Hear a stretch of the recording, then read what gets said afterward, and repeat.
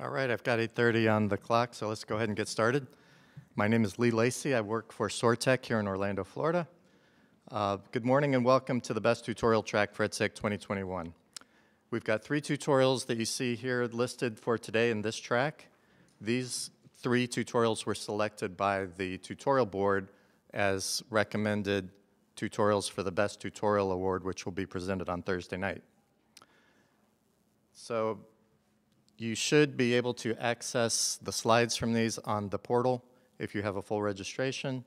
And my understanding is they're going to be videotaping each of these three and that they're going to be up on YouTube and that there's a link downstairs to where you can find those.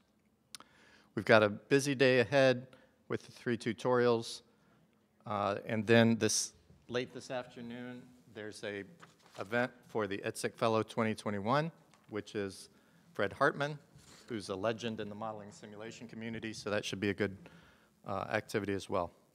You'll also be receiving or have the ability to access survey forms, so we really appreciate your feedback so that we can use that information as we select tutorials for next year.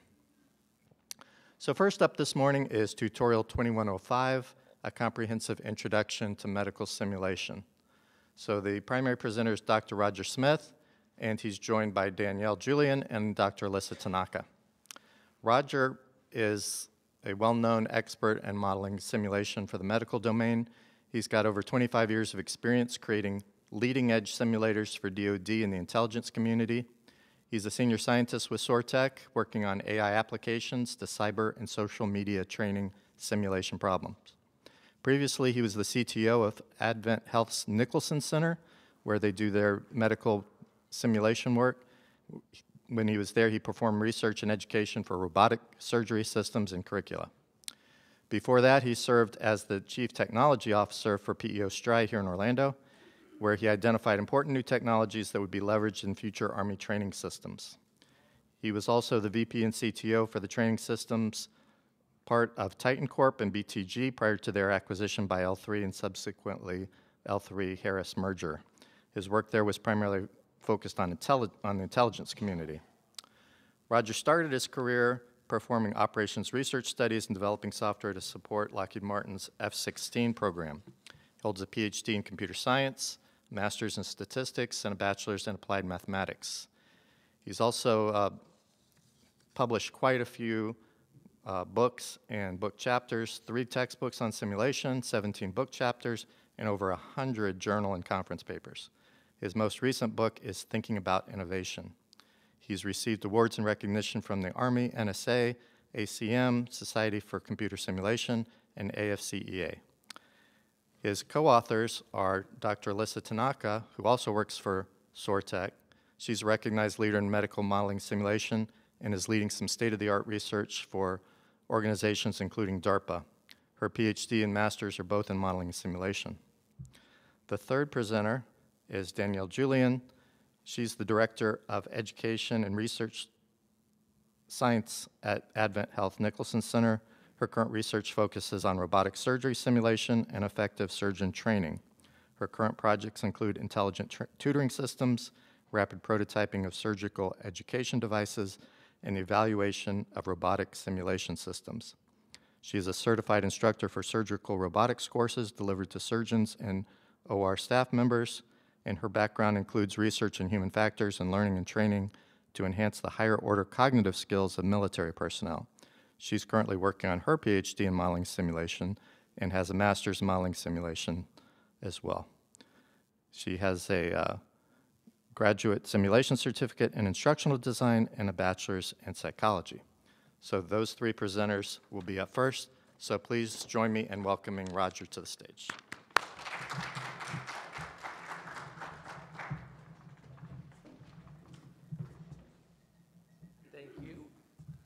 If I can make this work. Alt tab, sorry. Say it again? Alt tab. Alt tab. Hmm, that might have been Control tab. Or just. You got it? I got it. All right. So yesterday, I was in my office at home and I was practicing my presentation And I kept going over by a couple of minutes. I was like, oh, just over, just over. And I came out of my office and I said uh, to my wife, uh, so I practiced about three times, and she said, how's it going? And I said, I'm just, I just need to be a little bit shorter. And she said, well, you could take your shoes off. I swear, that, that did happen. I was like, what? Okay. Um, yeah, so we're going to kick off this uh, introduction to modeling and simulation. I don't know if this works. It doesn't work. Okay. Um, we're going to talk about our learning objectives. So as we have done in the past, our goal here is to start at the bottom and work our way up through Bloom's taxonomy, uh, giving you a knowledge of the modifications of medical simulation that would use in a military context, and then helping you to uh, comprehend a lot of the existing medical simulation systems and applying the, those tools on specific problems, and then to analyze the benefits of medical simulation systems so that you can someday develop your own and also evaluate the effectiveness of those that are out there. So that's up and down the, the Bloom's taxonomy. Um, I wanted to start with a very short history of medical simulation because there's some really fascinating examples. And in medical simulation, it's very different than military simulation in that there are literally a couple of dozen books just on using simulation in medical education and training. Literally a couple dozen books. These are the covers of some of the ones that I think I have most of these, and there are twice this many more. And there's one book that where the whole book is just about the history of the use of simulation in education in medicine. And I pulled out a couple of really great stories from that book um, and also from the internet. And so one of the stories I wanted to start with was how did the mannequin really get started as a disciplined tool um, in teaching medicine? And one of the earliest examples is this doll called the Josephine Chase doll. So Margaret Chase was a seamstress kind of person. She made dolls for children.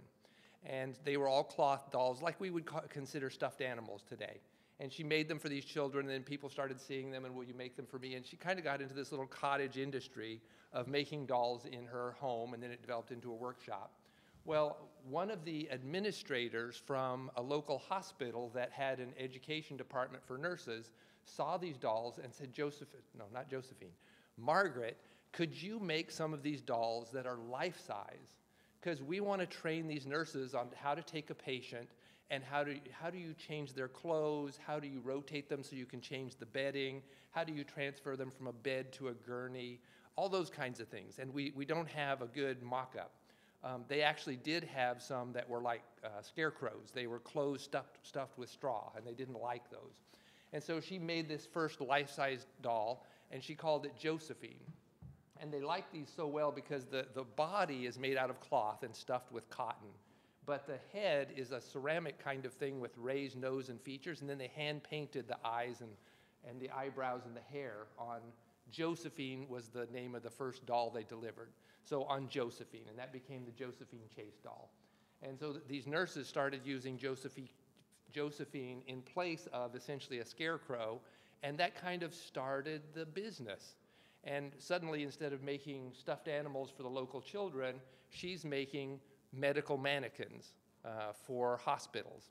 And she branches out, and by 1921, 10 years later, uh, this ad appears for the Josephine Chase Company, where she offers many different models of Josephine. So there's not just the Josephine full of cotton, there's also children Josephines, and there's Josephines that have internal plumbing that you can fill with liquid.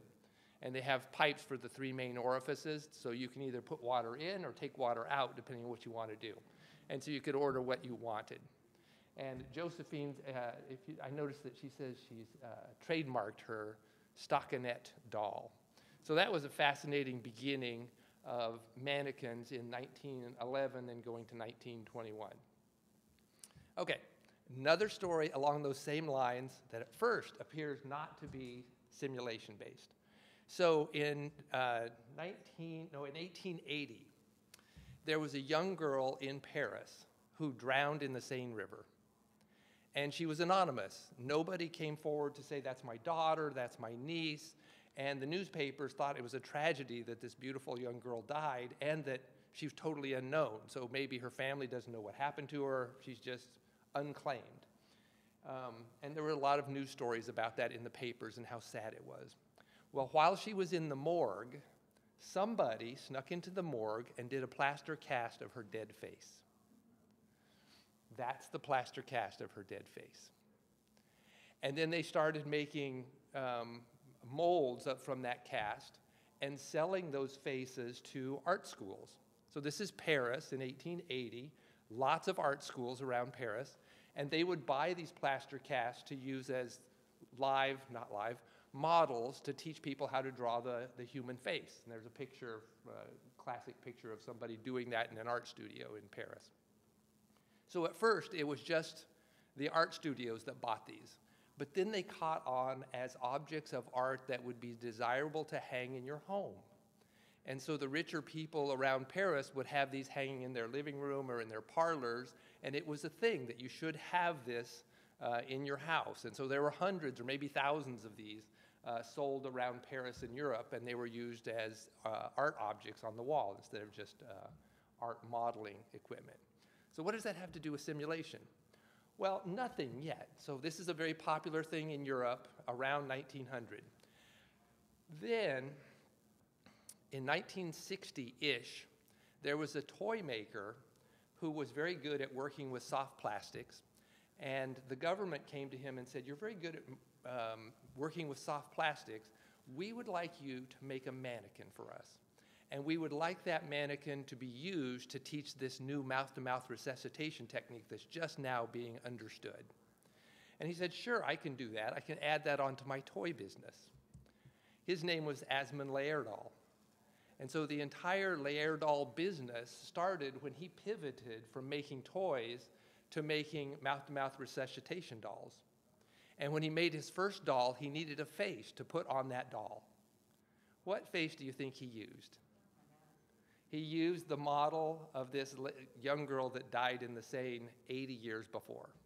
So the first Resusci Andy had the face of that drowned girl from 1880. Uh, another mannequin history. I, I found those two, the more I read about those stories, the more fascinating they became. All right, if you look at artwork from hundreds of years ago, let's say from 1600, you'll find demonstrations of surgeons teaching other surgeons how to do uh, dissection, how the anatomy works, and doing that with cadavers. And if you look at the caption on the one on the left, you'll notice that this one is by Rembrandt. Rembrandt, not just anybody, but even Rembrandt went to these classes to watch this happen and to capture this in his artwork. And it's class that painting is a classic Rembrandt in that the face of the surgeon is highlighted so it jumps out at you a little more.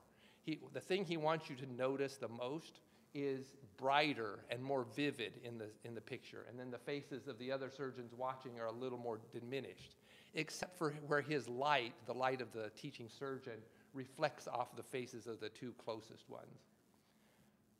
Okay, so that's one, that's using uh, cadavers for teaching, which we still do 400 years later and which they did 400 years before this.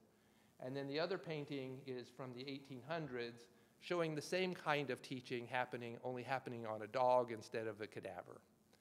And if you read the caption carefully, you'll know that that dog is uh, alive and awake, unfortunately. And he was trying to show how, what an agonizing experience that was for the dog to be operated on while uh, they were teaching him to take out the liver or whatever. All right. Now, if we move to something more mechanical, this isn't the first mechanical simulation, but it's one that I thought was fascinating from that book on the history. Um, Benjamin Hoadly wanted to teach people how the breathing system works. So back in 1740 and even up till much more recently, there was this thought that how, does, how do your lungs work? Well, your lungs are muscles, and the lungs pull and push the air in and out of your lungs, which is exactly what they don't do. They're very passive bags that hang in your chest and that are activated by the diaphragm, creating pressure um, in and out of your chest area. And that's what he wanted to show with this model. So he created an airproof box and put a bag in there that represents the lung with a valve on the top, which represents the throat, things coming in and out. And so when you squeeze on that bag that hangs below, the air below goes into the upper box, creates a pressure, and squeezes the air out of the lungs. And when you let go, it sucks the air back into a bigger space and it, in, it inhales.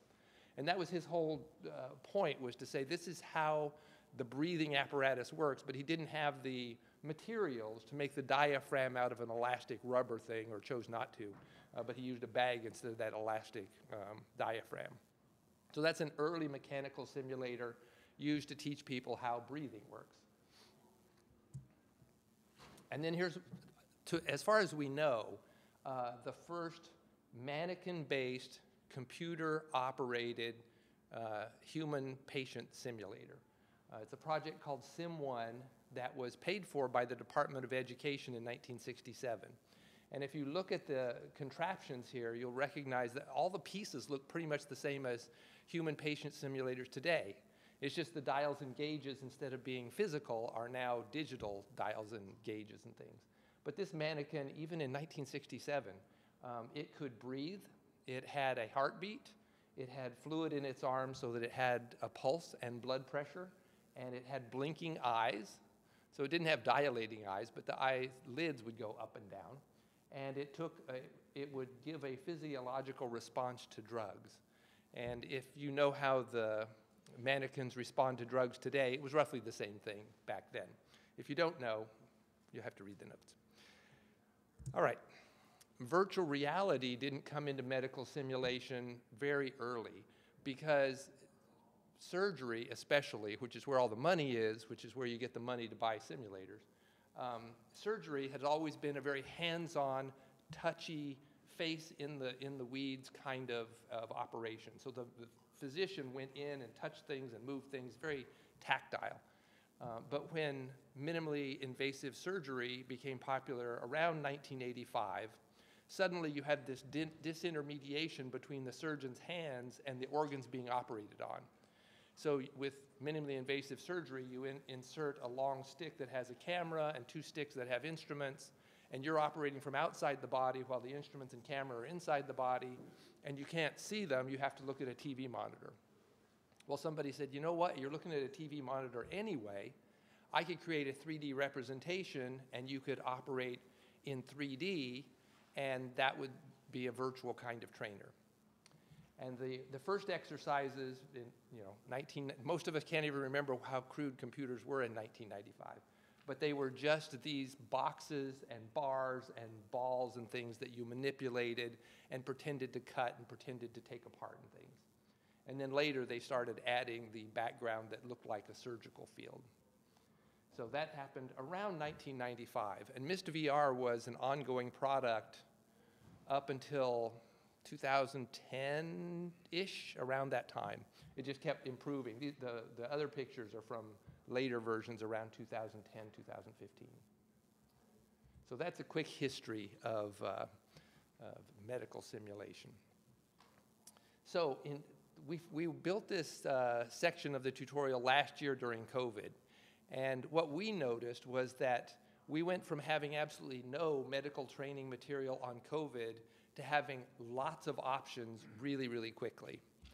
I am an avid user of the Coursera system, and I noticed on Coursera, suddenly there were like a dozen courses from very reputable places like Stanford, Johns Hopkins, University of Florida, University of Houston, um, offering this curriculum for free. So you could just sign up and start taking all these courses uh, that had been created or modified from other respiratory uh, programs. So those became available almost instantly. Um, a couple of the simulator manufacturers that you might see um, on the show floor here did the same thing. So ARA Virtual Heroes, they didn't have anything specific on COVID, but they had a course that was about how to treat people that are having respiratory problems, how to intubate them, and how to help them with their breathing. And so they put that course previously, a, a must-purchase item, up for free on their website. And they had another one on how to do uh, lab testing that they put up on their course for, on their website for free. And then SimX, they modified some of the existing content they had to make it COVID specific and put those materials up on their website for free. So suddenly all this stuff is becoming available uh, for free because there's a crisis in the world. I noticed this, uh, with the first instance that I saw of um, live training happening in hospitals was in this um, hospital in Ottawa, which started training their people on how to handle COVID patients before COVID ever arrived at the US or Canada. It was still only in Italy, and they, everybody was thinking it's going to be everywhere, so we better train now, because when it gets here, we won't have time to train. And so every hospital and airlines and government agencies and elder care facilities started teaching their people, uh, usually by modifying curriculum that they already had for SARS and MERS and previous outbreaks like that. And then a couple of the mannequin makers, CAE and Laerdal, um, both of them had thousands of mannequins and software products in the field with their customers. And they didn't update those, but they sent out curriculum saying, given the, the software and hardware you already have, here's how you would run a training course around COVID. Here's how you would do the isolation and how you would treat the patient. And you could use the equipment you already had without having to update it at the time. So that was the, the world's response to COVID really quickly. Um, I want to talk about some taxonomies of simulation as well. I know I'm jumping from category to category, bang, bang, bang. Um, in, in military simulation, we've been using the terms live virtual constructive for about 30 years, uh, 34 years, since General Paul Gorman gave a presentation in 1991 where he kind of emphasized that all of our simulations fall into live, virtual, and constructive. And then later we added games, and so it became plus G for a long time, or LVCG now. Well, the medical community has looked at that and said, that's a good start, but that's not really how our domain is shaped. We're a little different than that. And so they've been wrestling with that same, how do we create such a simple taxonomy uh, for a couple decades already. Um, Richard Satava, who's a very famous surgeon in this space, he envisioned uh, a taxonomy as a progression of complexity. So you start with something that's very simple and you progress to something that's much more complex. That aligns really well with the learning theory that you're going to see in medical simulation in a later section. But he said you know, there's simple things where all you have to do is learn how to place um, a, a, blood draw or to put a, an IV into an arm. And that, that's all there is, is something like an arm. And then you progress to where you have more of the, the body and you're able to use equipment against that body. And so that's a more simple manipulation of the ultrasound one, for example.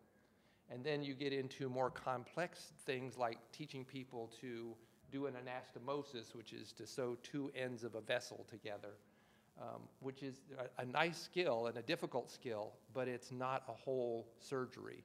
And then the final step in his taxonomy was you have a full surgery like a hysterectomy, and your simulation or your virtual reality uh, represents all the steps that you would perform in a hysterectomy.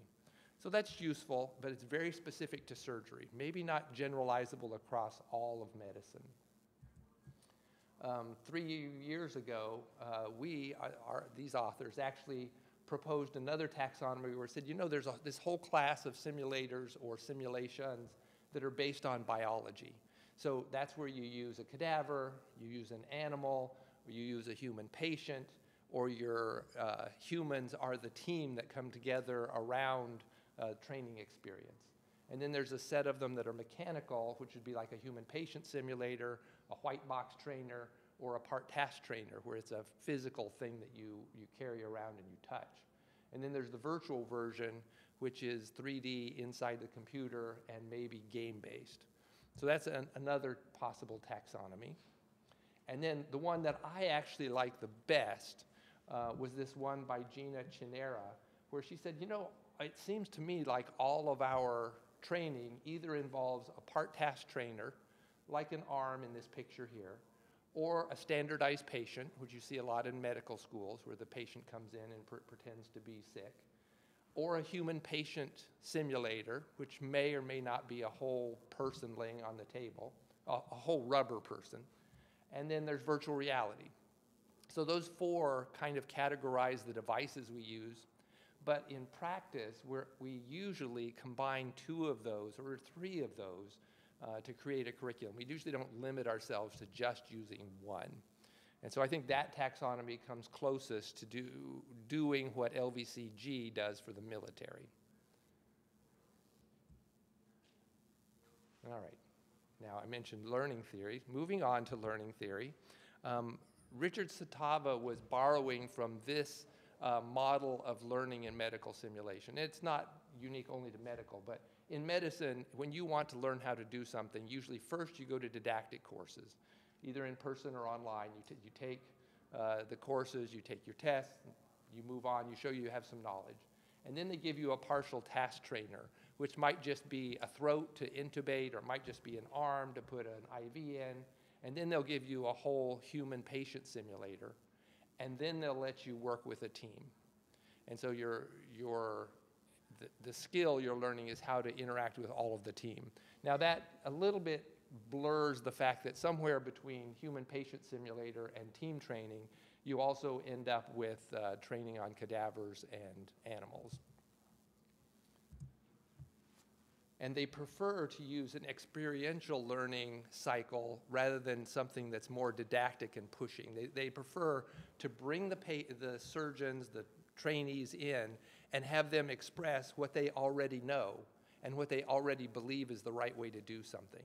And get 10 people in a course expressing that and sharing that, including the instructor, and you can see how those things are not all the same. They can bounce that, their ideas off of each other and discover what works the best, as opposed to the sage on the stage ordering everybody, this is the way it'll be done. You want them to experience how other people's ideas, prefer, and hopefully the instructors, are superior to theirs, and they should adopt those.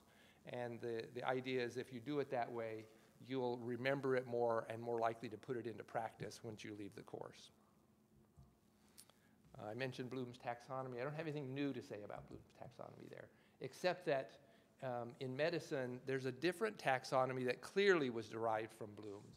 Um, the pyramid side is the same, going from knowing how to do it to actually doing it, but the back dimension is a measure or an assessment of A, how much do you know? B, how much can you demonstrate and, and show with your hands? And C, what is your attitude about it? Do you have the right caring attitude about trying to take care of the patient and help them with their patient, their, uh, their families? And so those, that back dimension is, uh, is not usually found in Bloom's taxonomy. All right, now this is the part where I take my shoes off because I'm getting a little long and so I'm going to go really quickly over this section of slides. We were asked in a previous presentation, where's your constructive equivalent? And there's not a direct constructive equivalent. Here's what we have in healthcare. Um, this is a command center for the Advent Health System here in Orlando. There are about 12 Advent Health hospitals in Orlando and dozens of emergency rooms and walk-in clinics.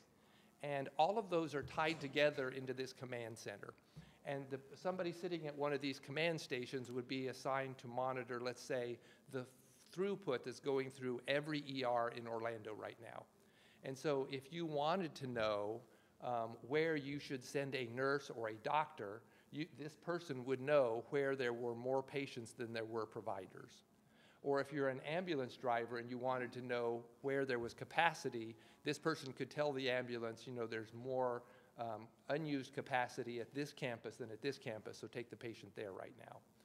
Uh, and each one of those people monitors a different part of the system. And so for the first time, the hospital knows uh, what's happening across a family of 12 different campuses and care centers and all those other things.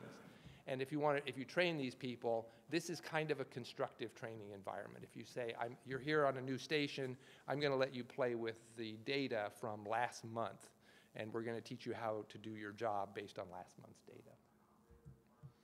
Uh, this is a discrete event simulation of a very large emergency room where you can experiment with the physical layout of the facility, how many clinical staff you meet, need, how many administrative staff you need, and what happens to that facility when the patient inflow fluxes up and down.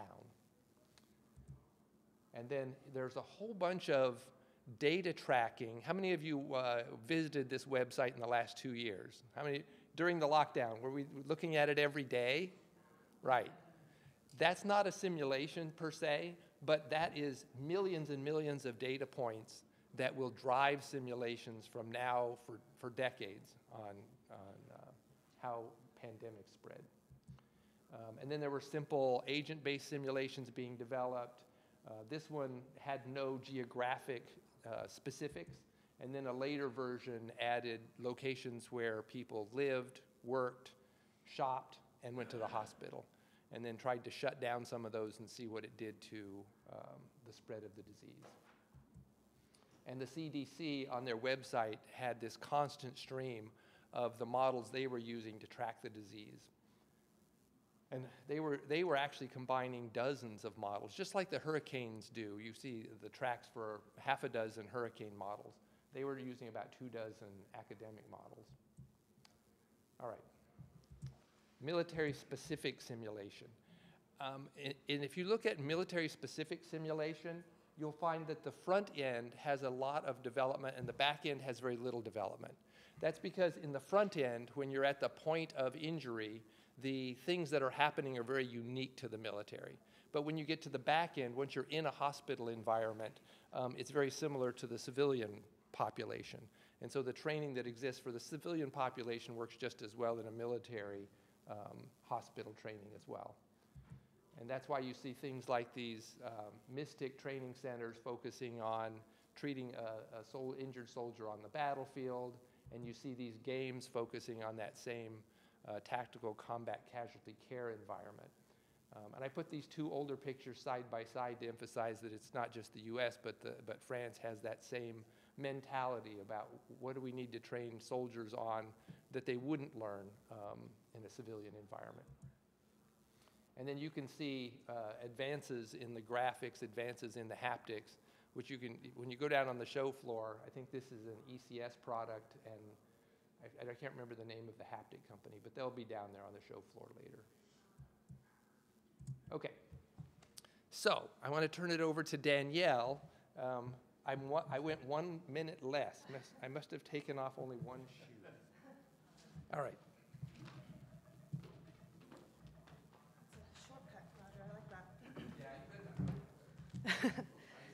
I'm going to pre-apologize. I have some allergy stuff going on, so if I sniffle during this, uh, apologize. I do not have COVID. It's a bad time to have allergies, huh? uh, thanks, Roger. So Roger explained the history of simulation all the way to uh, military use.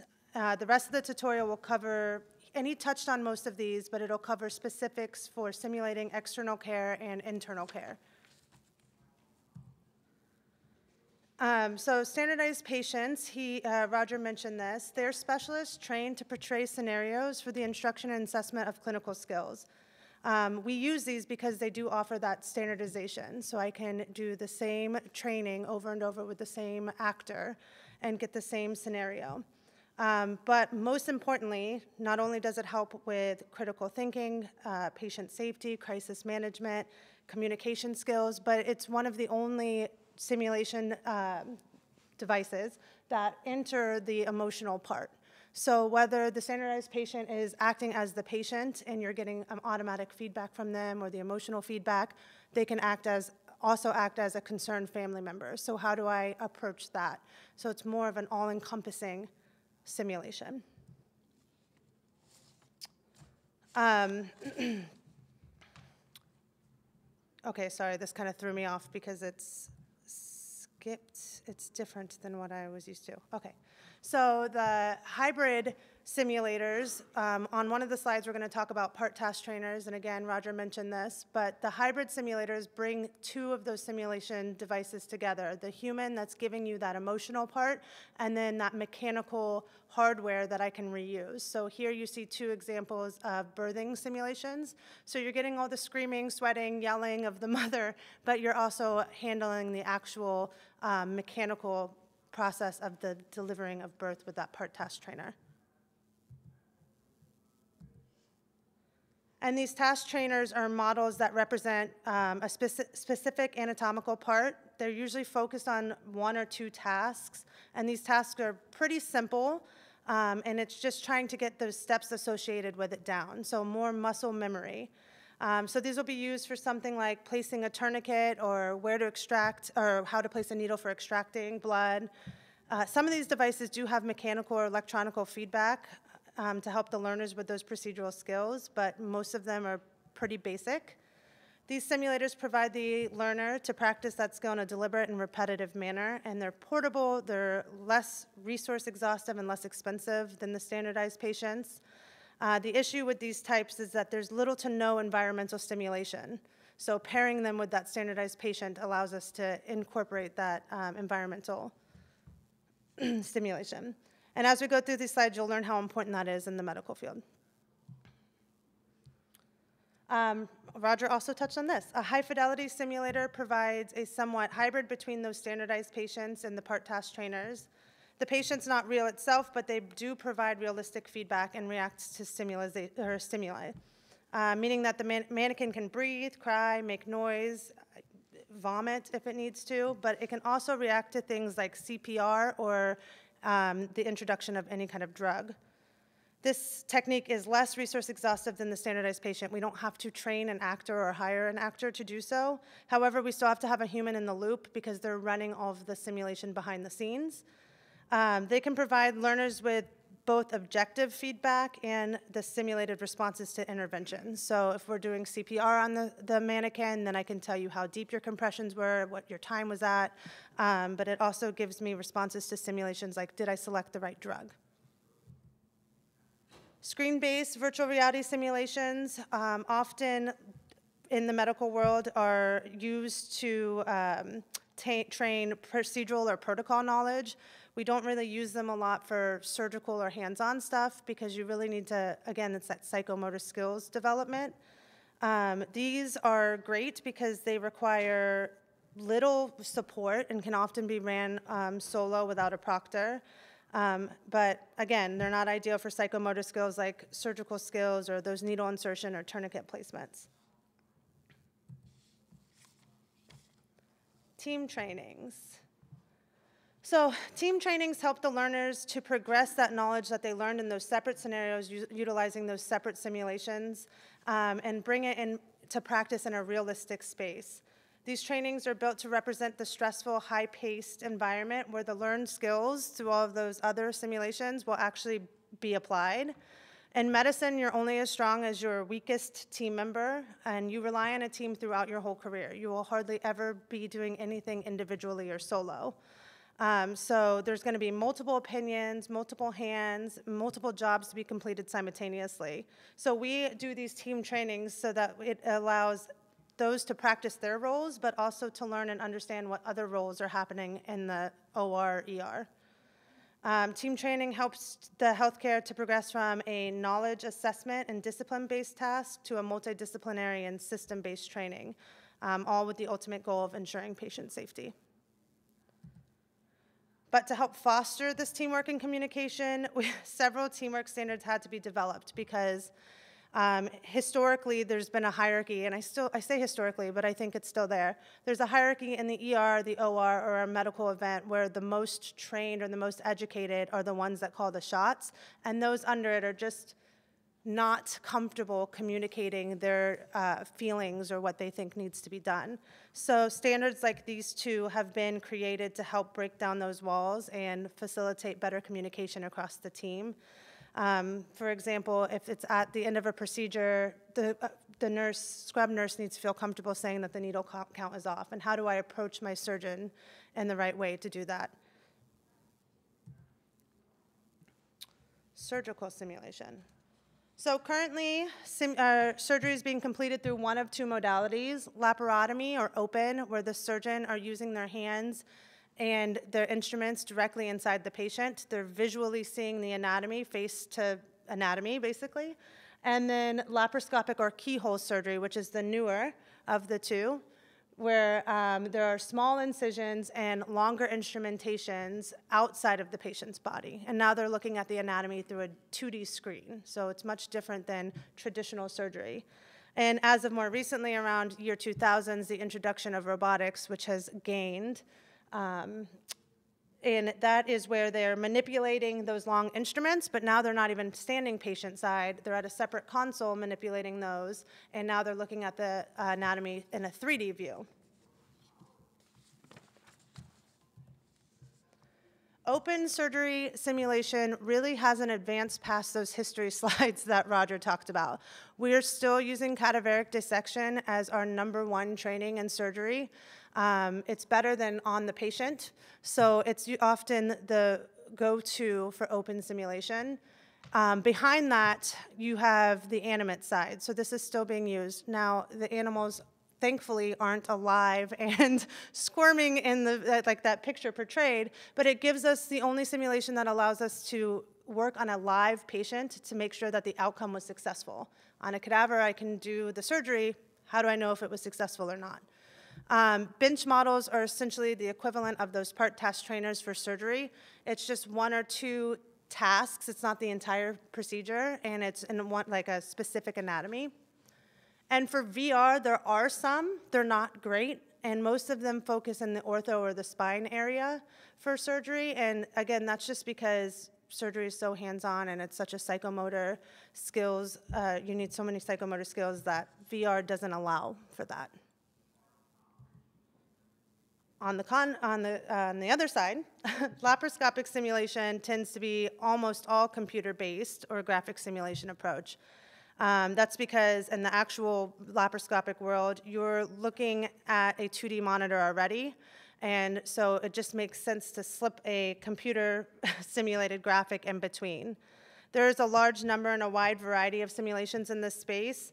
There are larger stand-up models, like you see here, um, that have dozens or maybe hundreds of exercises. Uh, these exercises are typically one or two skill based at a time. They're not really procedural exercises. We're very behind in that. Um, or there's these white box trainers that are super simple. It's a completely physical simulation. You can use a tablet or an iPhone and place some kind of tissue underneath to practice those laparoscopic, laparoscopic skills. Um, for those types of trainers, we usually slip in something like a silicone plastic model, excise animal tissue, ca- cadaveric tissue can go there, or just simple games to develop dexterity.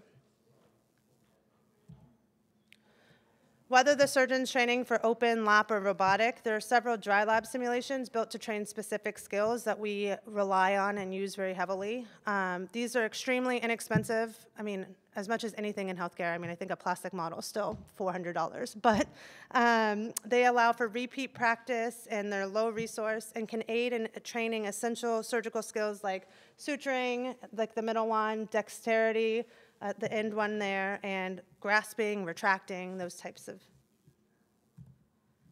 Now there are more advanced dry lab surgical skills trainers that aim to train multiple of those skills all located in one device. So the Dome one here trains over 16 psychomotor skills through seven exercises. Uh, they're reusable and affordable. Uh, the dome-shaped one was developed specifically for robotic surgeons, but have been used for both open and lap training.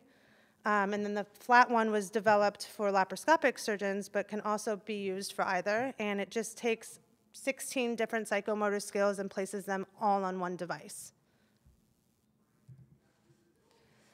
And then something that we use often before we go to that run stage of training where we're in a simulated OR with cadaveric tissue or a live patient, porcine patient, or animate patient, we'll use um, anything wet. So we use things like turkey thighs, we can use excised porcine bowel, we can use cadaver pieces, just to give them that, that step of feeling real tissue. So practicing on those plastic models are great, um, but you then have to transition to what it feels like to suture on regular anatomy or real anatomy.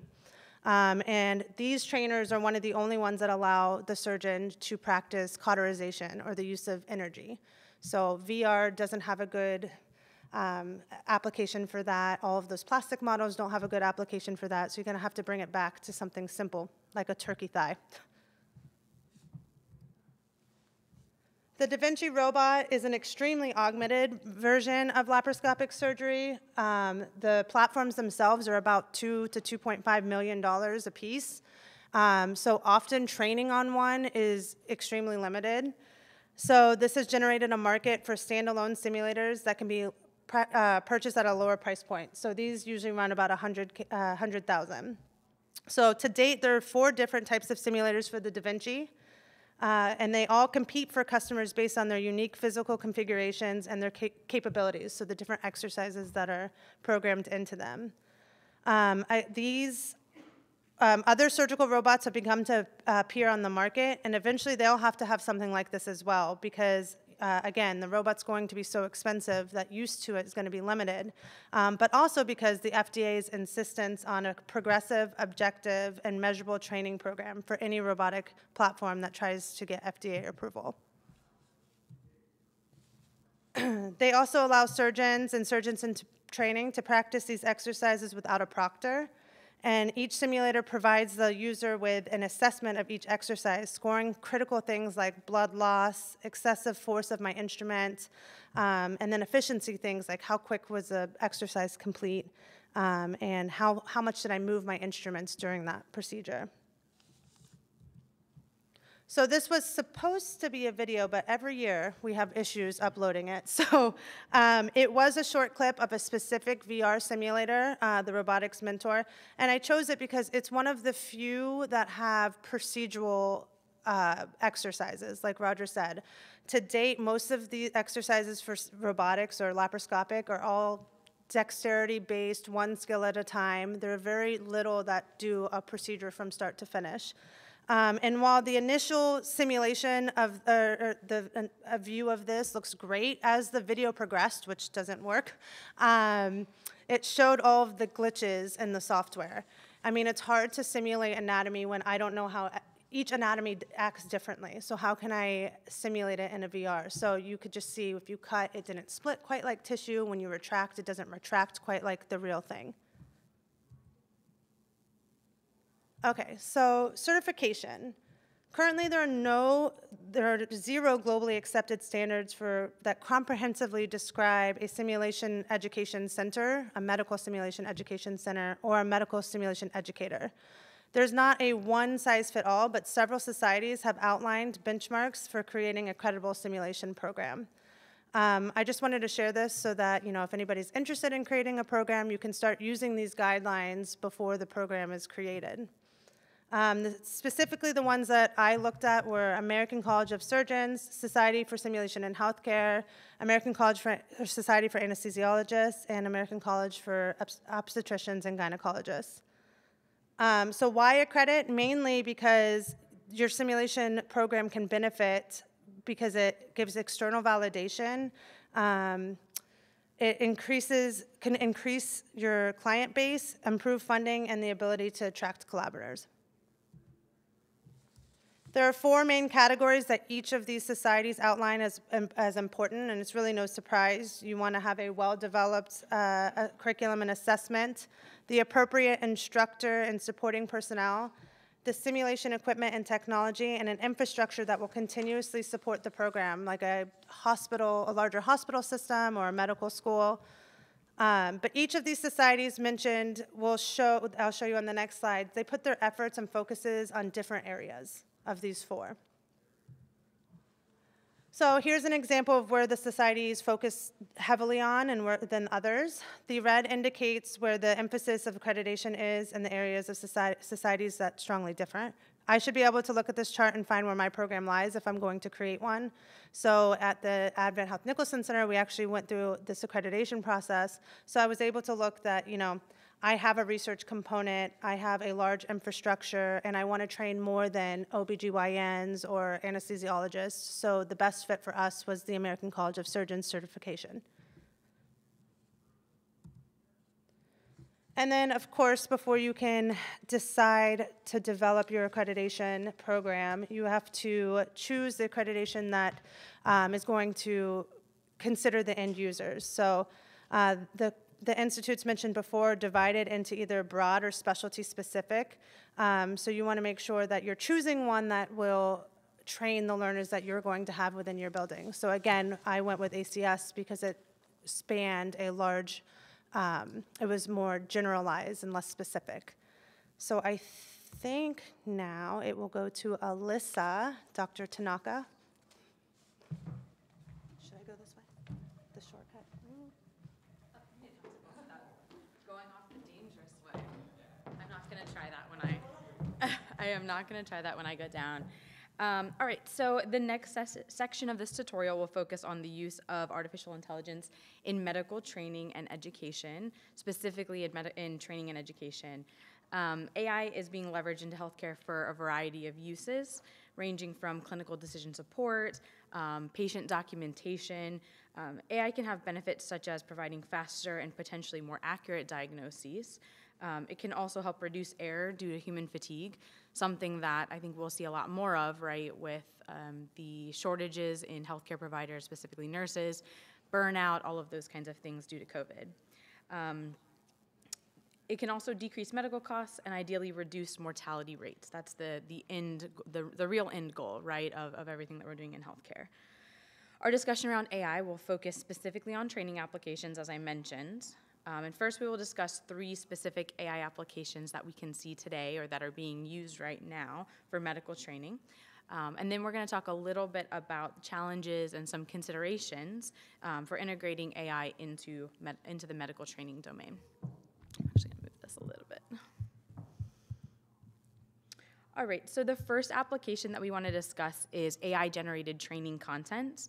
Um, and so the general idea here is to use real world data to train an AI model and to then use that model to generate new and relevant examples. So these generated examples can then be used for educational content that might be embedded into training applications or can be used to further train and refine the AI models that are underlying um, the systems being used. So if we look at the example that's on the screen, let's talk about this for a second. So generative adversarial networks, or GANs, have been used more famously for lots of different tools, right? Um, to teach a, computer to play a video game, or um, Roger uh, mentioned that apparently it can be used to generate a picture in the style, like a Van Gogh style, take your picture and, and turn it into sort of a Van Gogh style, something called StyleGAN. Um, so turn it into the style of a known artist. Um, but they've also been used to generate medical imagery that can be used for training. So you can see some examples there, right?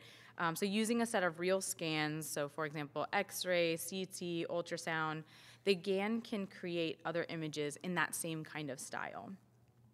The GAN has a learning phase also um, that generates many images, some of which may actually be pretty poor approximations of the original.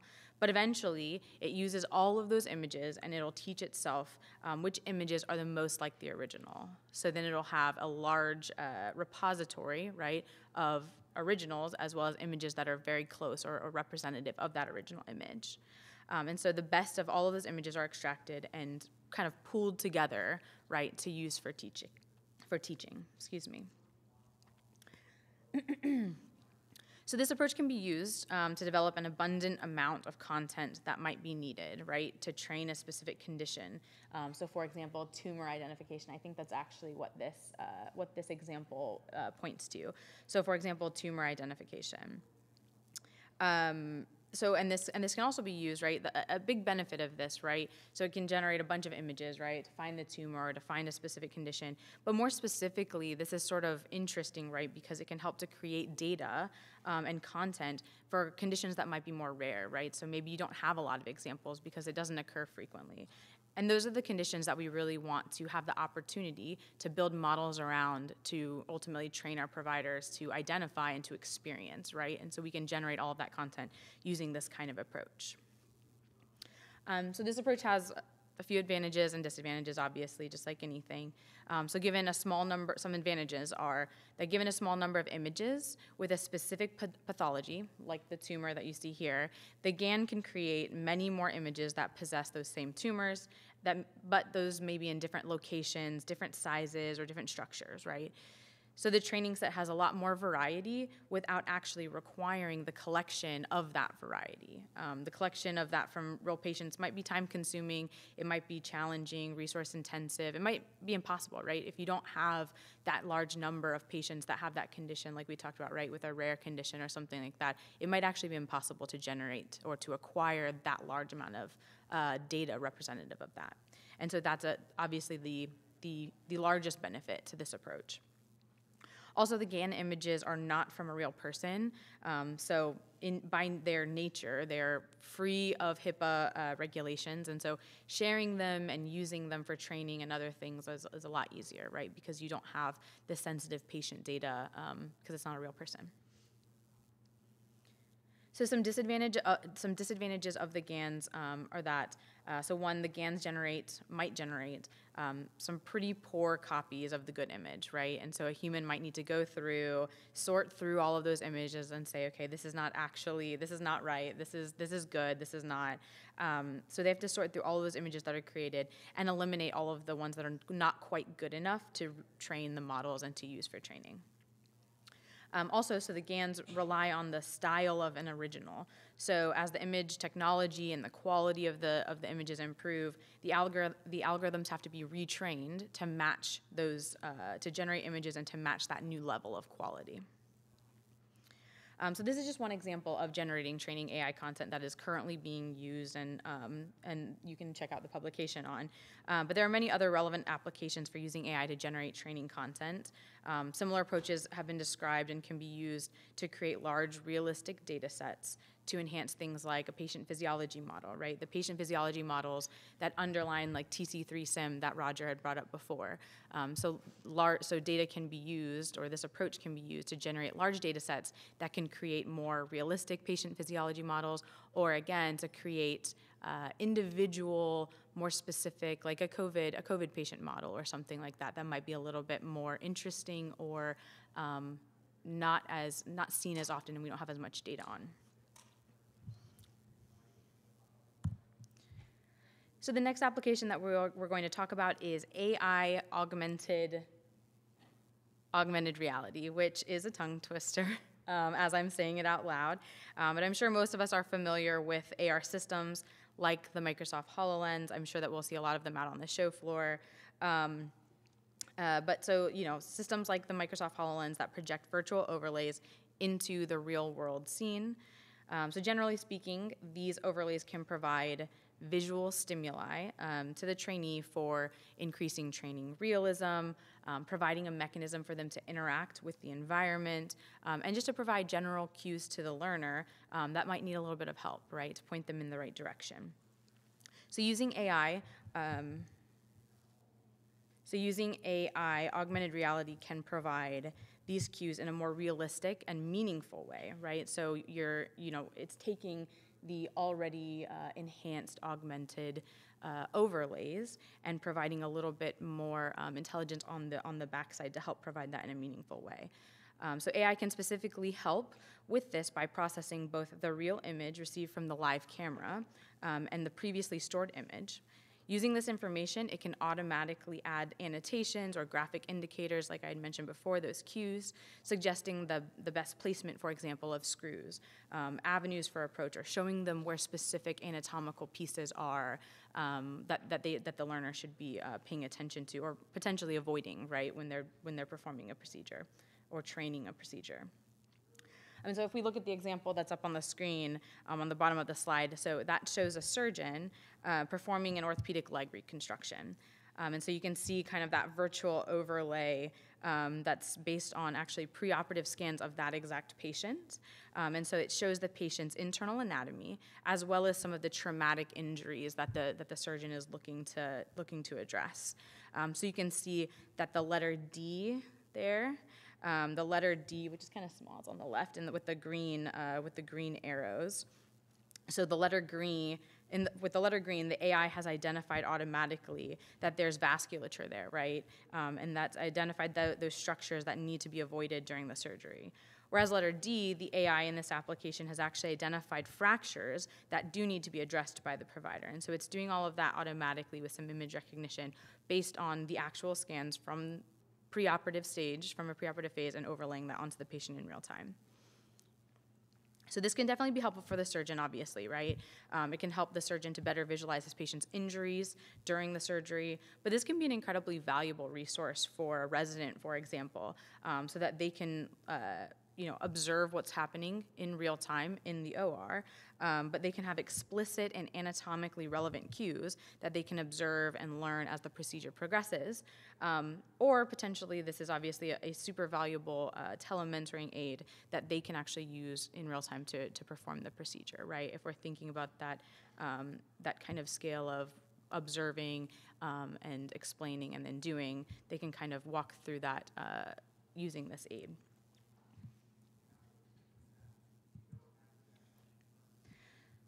So another application um, that we're going to talk about is um, the is intelligent speech understanding, and so I think you know speech recognition is a very prominent uh, piece of everyday life for all of us right now. I think if I said, uh, "Hey Siri," probably all of our phones would light up, or "Oh, my uh, my iPad actually just lit up as I said it," right? And so um, you know it's very prominent in everyday life. Um, we're all used to being able to say that um, and have just about anything shown to us, or at least a semi-close Google search brought up. Um, and so the same concept is being applied to the medical domain and can be seen in several different applications.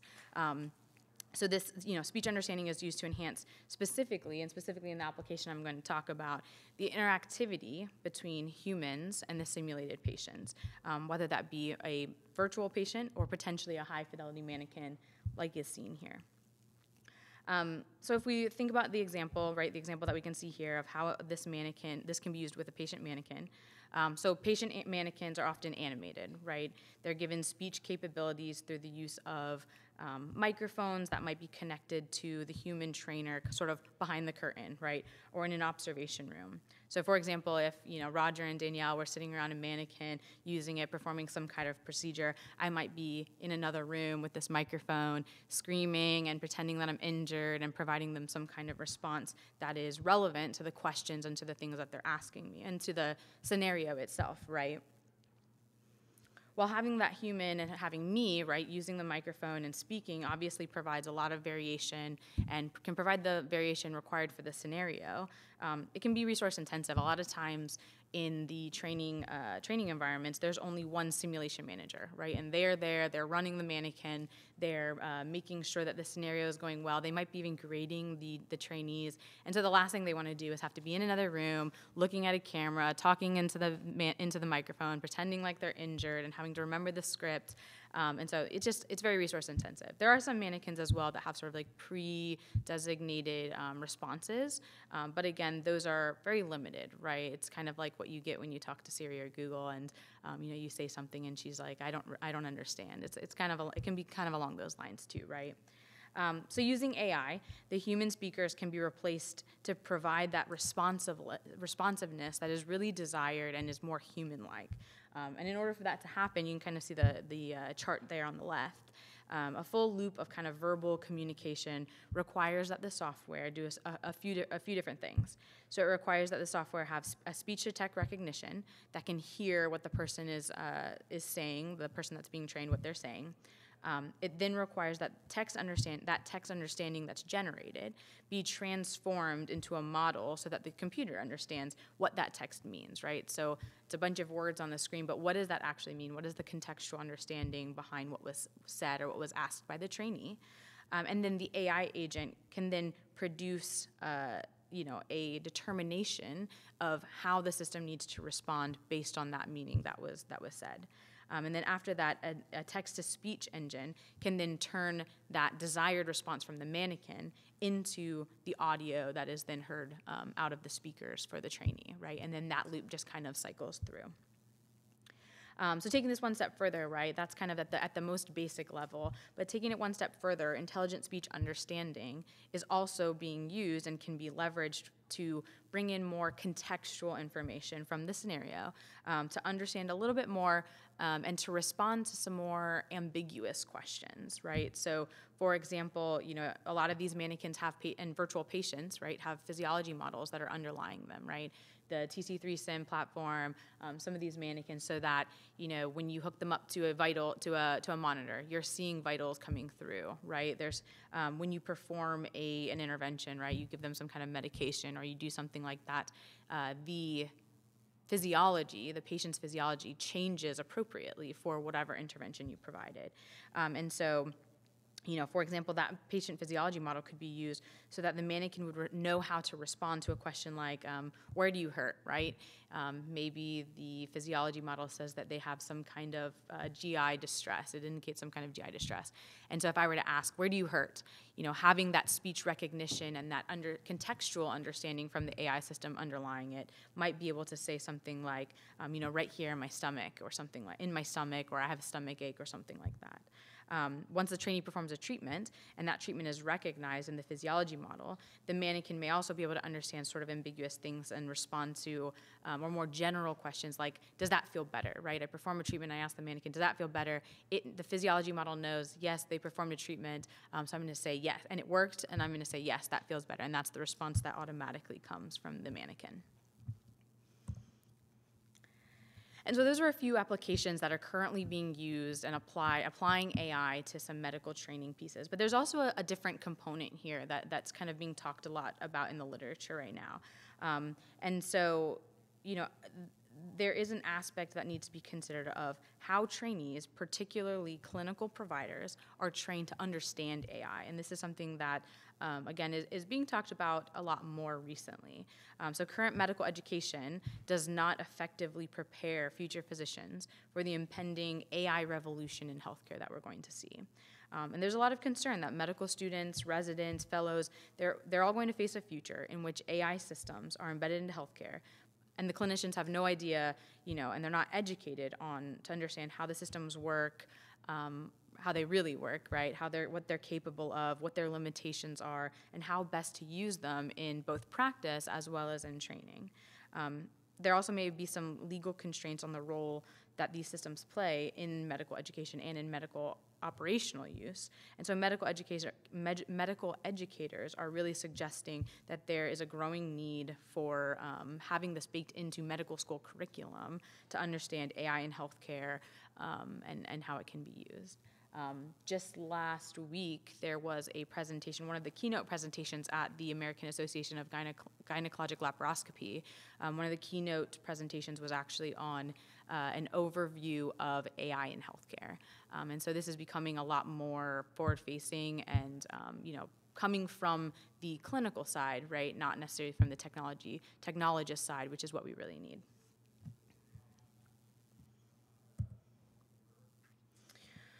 Right, so just from these few applications, right, we can see that AI does have the potential to completely change how medical training is performed. Um, but with any emerging field, the medical domain, um, just as with any emerging field, the medical domain is definitely faced with some challenges um, and some considerations that need to be made as AI based tools are being adopted.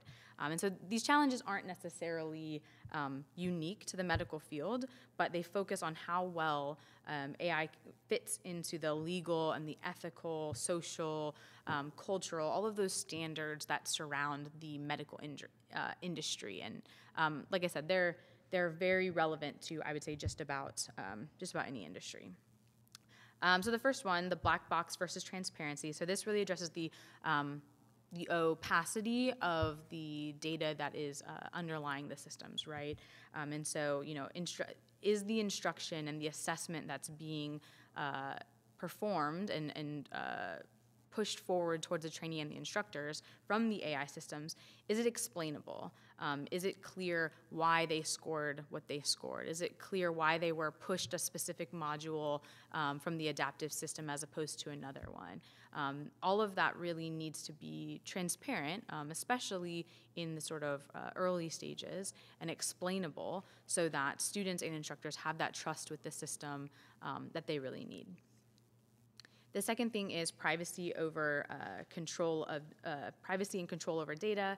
Um, you know, I think we all can point to a number of examples, right, of how our data is being used now, and um, you know how we want it to be used and we want it to be cared for.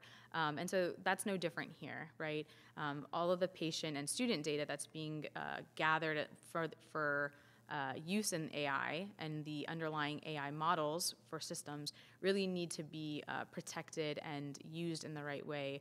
Um, again, to make sure that people are trusting um, and willing to adopt the intelligent systems that are that are going to be out there. Um, so the third one is standards for use of AI in patient care and liability. Um, and so this really focuses on, um, you know, the fact that this is a new technology, right? Or these are new technologies. These are new approaches that might be implemented. And so AI use really needs to be um, aligned with legal parameters that, that are in place currently for residency instruction and for patient care. Um, but also, there needs to be sort of standards that uh, go across the board, across all of the organizations, um, specialties that uh, exist for um, implementing these kind of systems into residency and training programs and into patient care, right? Uh, so the last thing is uh, physicians learning to interpret the results, which we kind of already talked about, um, but communicating that to the patient. And this this isn't necessarily uh, specifically related to a liability and training, um, but uh, more related to the clinical uh, interaction uh, with patients. However, this can definitely be training can be used to help educate physicians with this. But really, you know, this this goes back to what we talked about, what I talked about, uh, I think in the last slide of, um, you know, or a couple slides ago, of helping physicians understand what AI is capable of, what it's not capable of, and how to interpret the results, right? So, you know, physicians really need to, and we need to find the best way to train physicians um, on how to present the AI based findings um, when if a you know a clinical decision support tool for example is being used to diagnose a patient. Um, and so we really need to figure out how to best train them to communicate that finding to a patient so that um, you know the patient isn't sort of concerned that an ai system is the one uh, doing their diagnosis.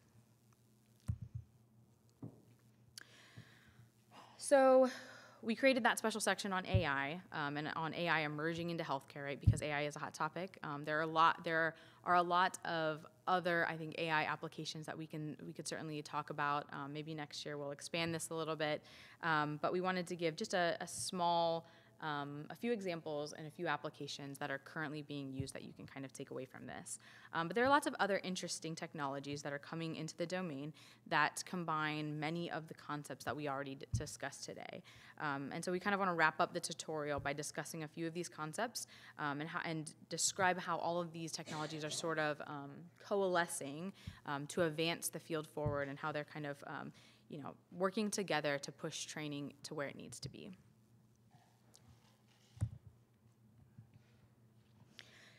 So the first concept that I'll talk a little bit about is the use of integrated surgical simulators. So I know Danielle talked about uh, the Da Vinci robot, and so that's kind of what you can see here. There's actually the, the Da Vinci on the left and a, different uh, robotic uh, system on the right.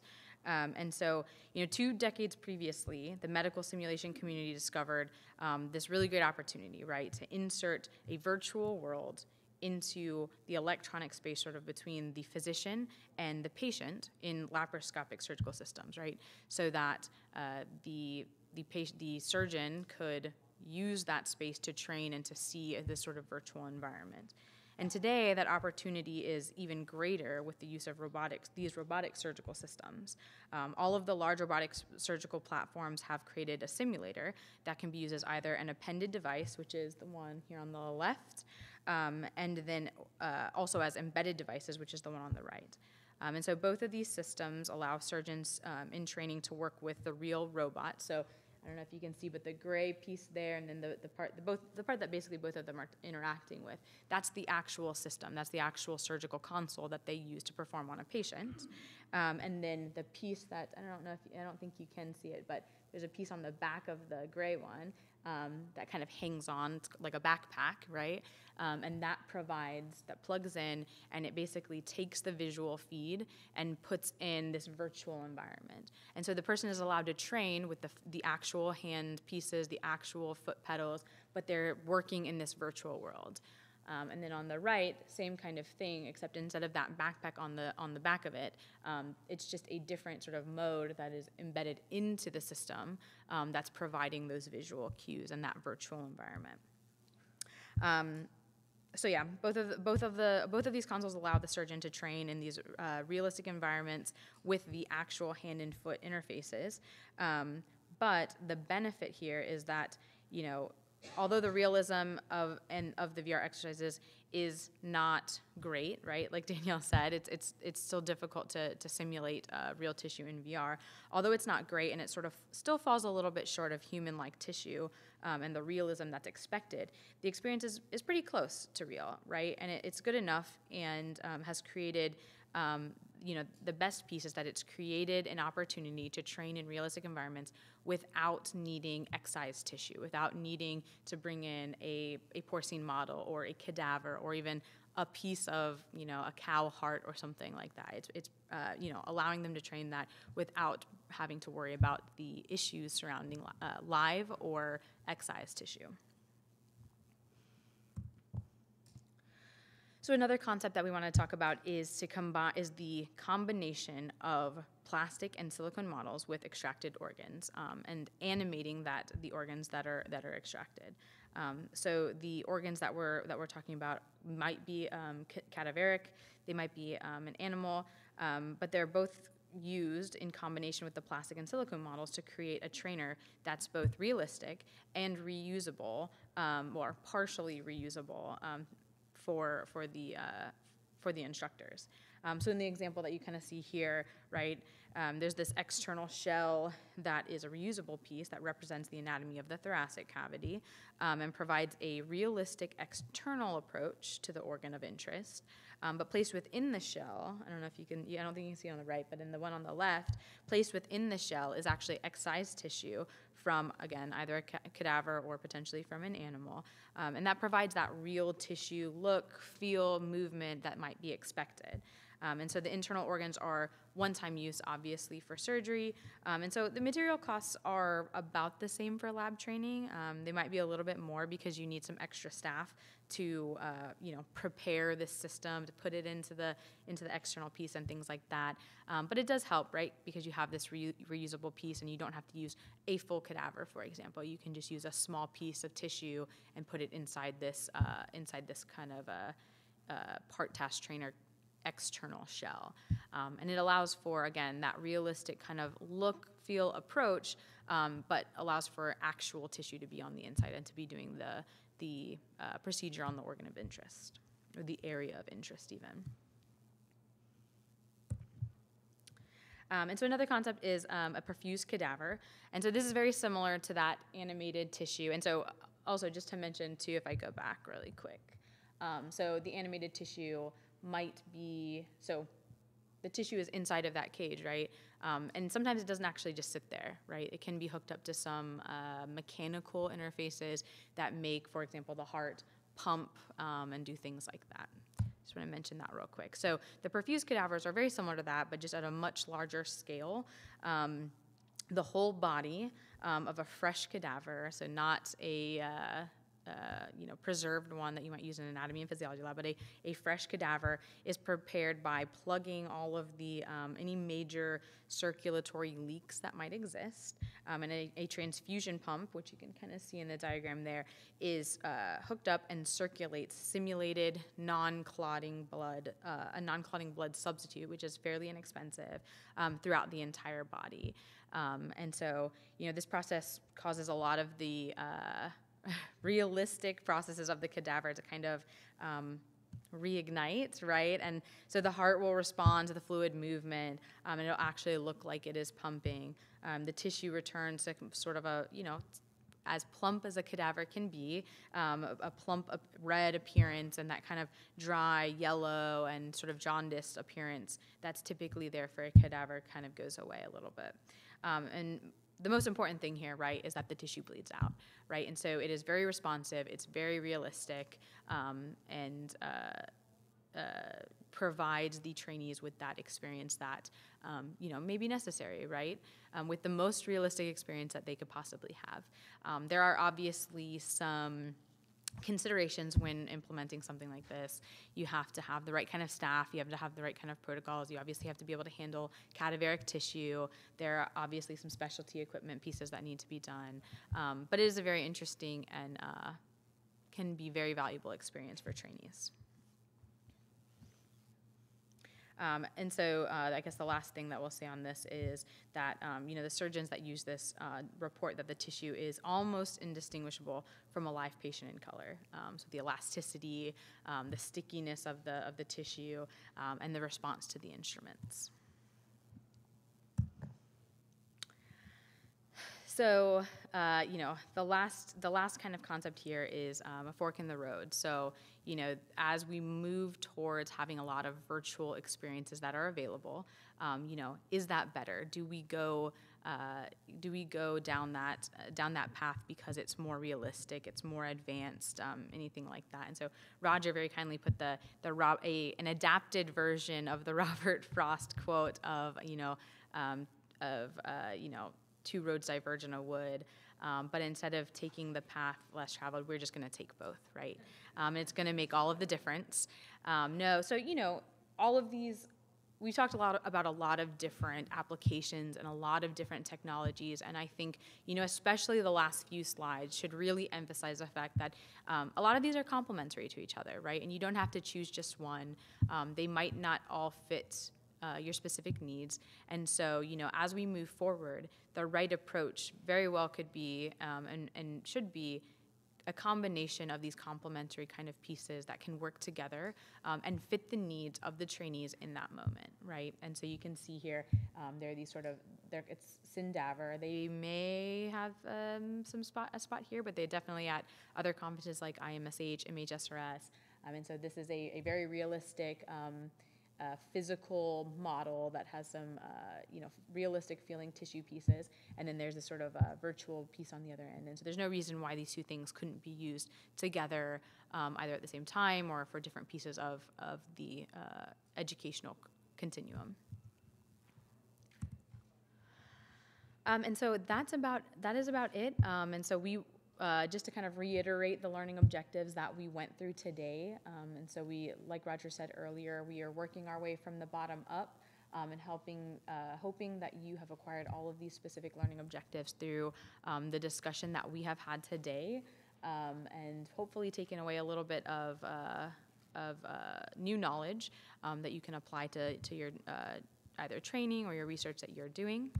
Um, and so just to kind of sum it up, you know, the tutorial has explored um, a number of major areas of medical simulation, right, including the history um, of medical simulation, proposed taxonomies of classification, learning theories that are specific to the medical training, um, human patient simulators, um, how standardized patients are used in replacement of uh, patient simulators, um, team training, surgical simulation, best practices for uh, standards and accreditation, and finally AI, um, an initial look at AI and applications and some uh, considerations and challenges.